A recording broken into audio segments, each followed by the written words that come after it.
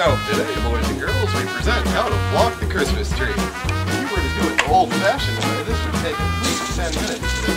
But who has time for that? All you do now, the new snow can, your stick, Sit right about there. That's how you flock a tree in 2.1